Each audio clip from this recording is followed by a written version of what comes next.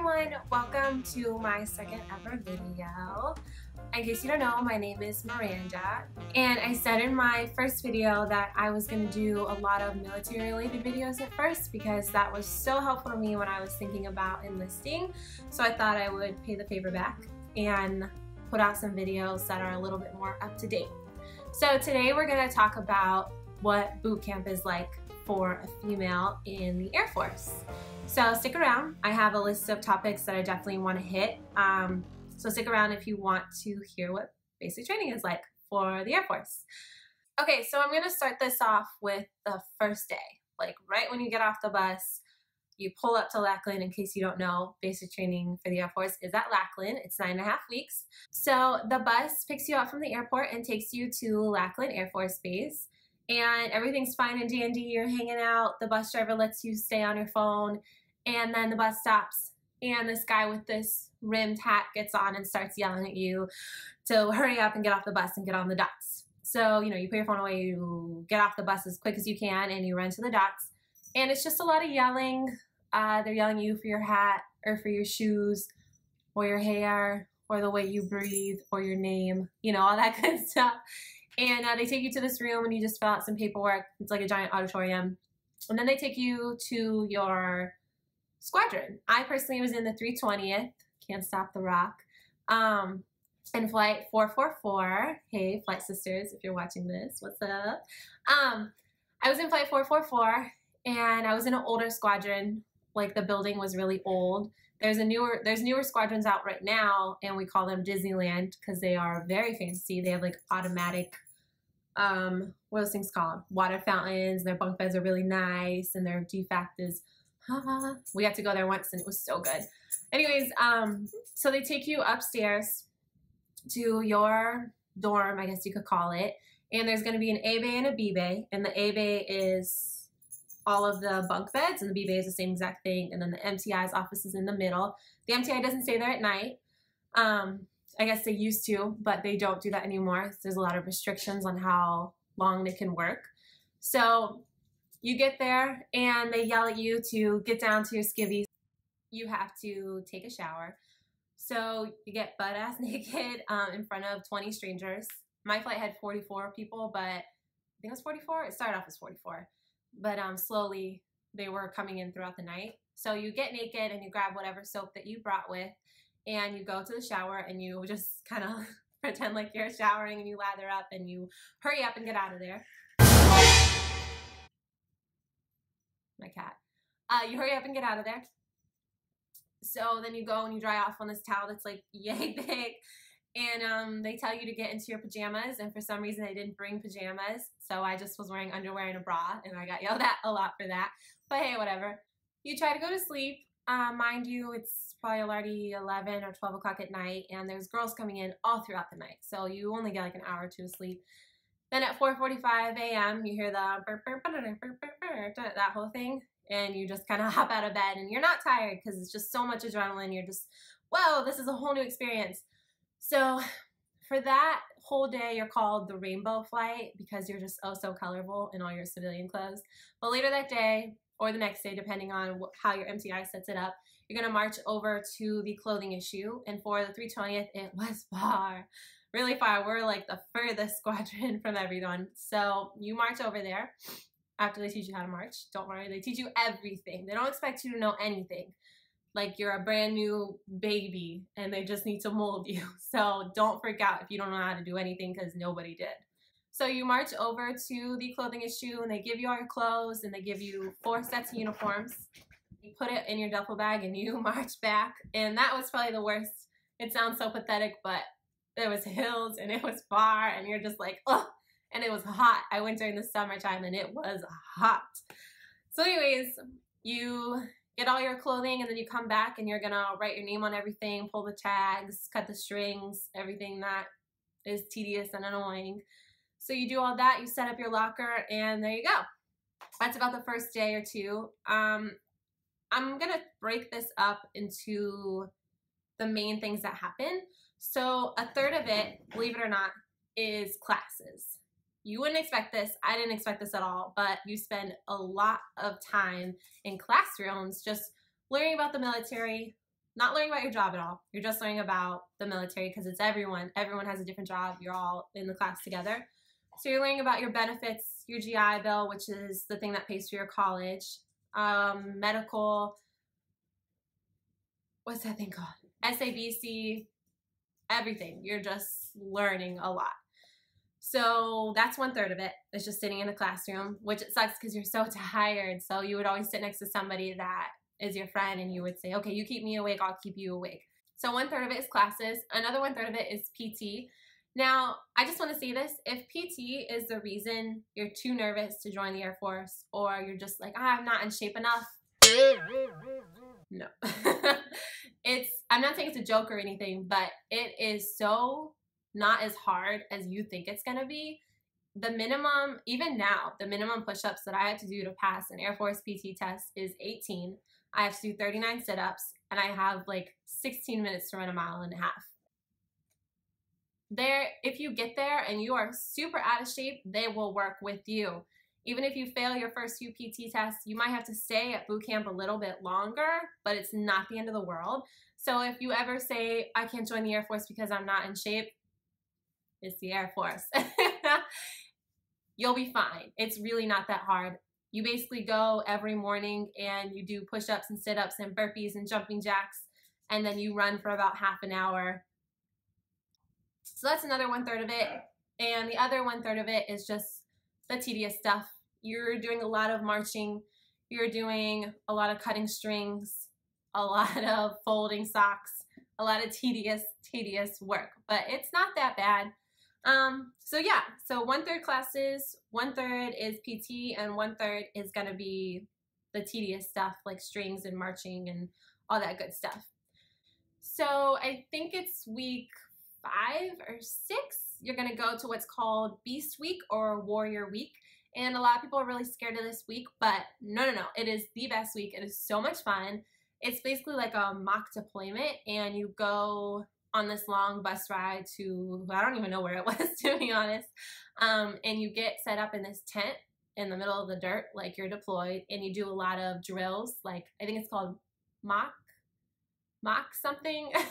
I'm gonna feel like an idiot if this is wrong, but they'll say like mock level one, and you'll put on all your your outer gear like there was a chemical war going on, mock level two, and you'll put on your gloves and your boots, mock level three, mock level four, a mask, so on and so forth. Um, so you do a lot of drills like that. You go to the gas chamber where you put on all your mock gear, you go into the gas chamber, they let out the tear gas, you take it off, you say your reporting statement. I'm sorry, I didn't even touch on that. Uh, before you say anything at basic training to an MTI, you have to say, Sir, trainee McMahon reports as ordered. That was my maiden name. I would say, Sir, trainee Gollnick reports as ordered at attention before you say anything. It's annoying, but whatever. So you say your reporting statement and a few other things, and then you leave.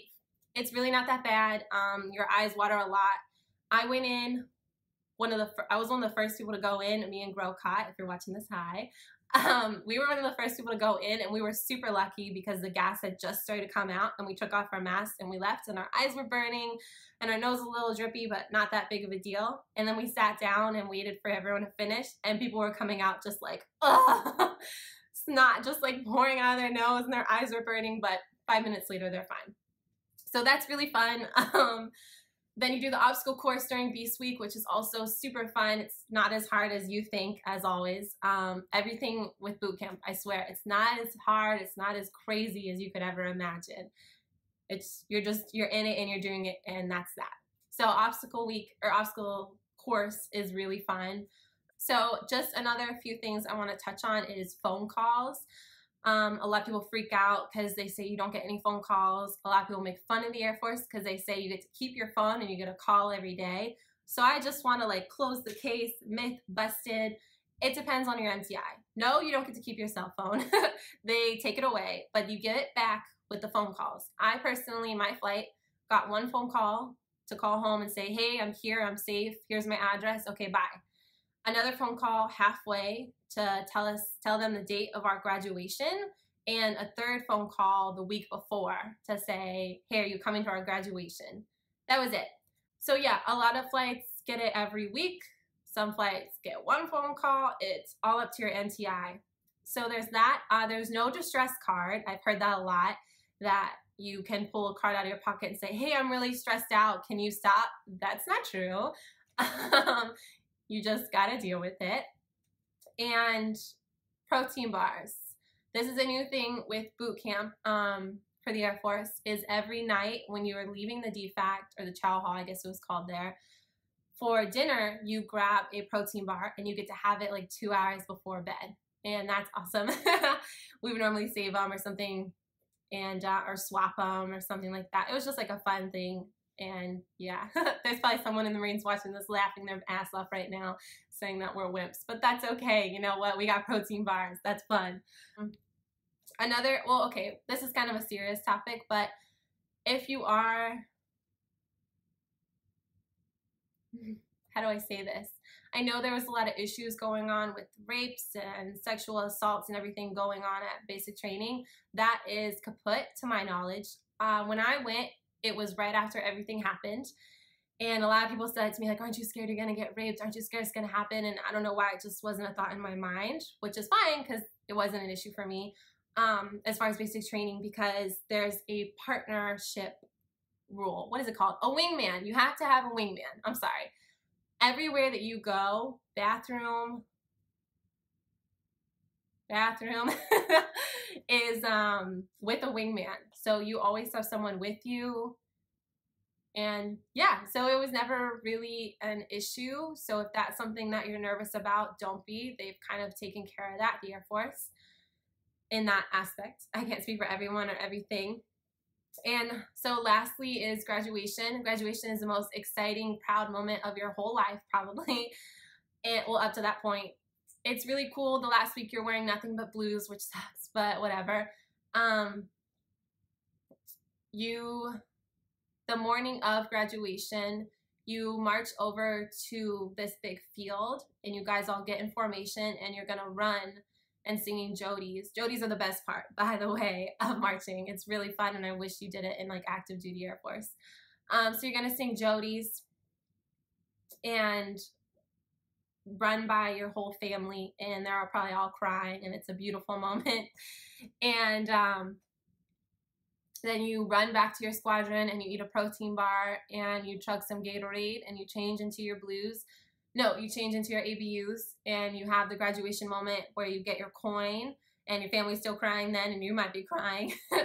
and then the next day, you're in your blues on the field on the graduation. Graduation is like a two day long process. But then the next few days, you get to go out with your family to San Antonio, and that's really fun. Um, so it's all a really exciting, scary, new thing. It's really fun, honestly, looking back on it. In the moment, it was very terrifying and very nerve wracking, but looking back on it, it was the best weeks of my life because it made me an airman.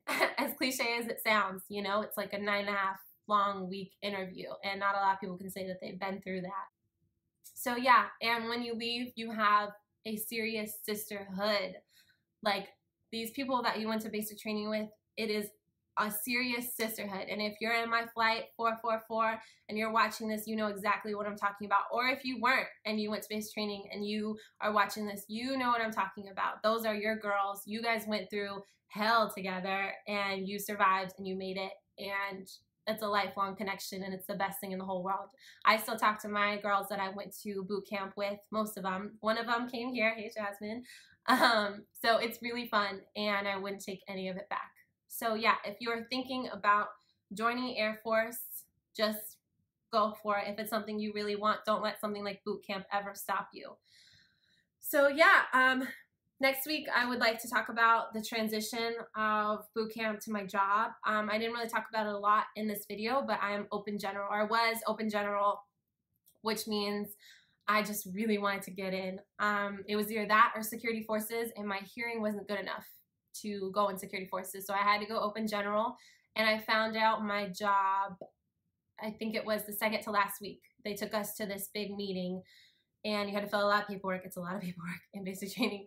And um, they tell you what you've been selected for. You get to fill out this form with like your top five, which is, I don't think it means anything, as well as your dream sheet, which does not mean anything. So don't let dream sheets freak you out or get excited about it. I live in Illinois. Illinois was not on my list. Um, they just send you where the Air Force needs you. So like I said, I chose my top five jobs in my material management, and I think that was number five. so yeah, um, you can't really rebut against it. It's just is what it is. And yeah, but I'll talk more about that in my second video because I do have a lot to say about it if you guys want to hear. So hopefully this was helpful to you and answered any questions you had about basic training. It wasn't super in-depth, but those were the main things that I could really think of. Um, and yeah, if you have any questions, just comment them below and I will address them in my next video. All right, thanks guys for watching. Bye.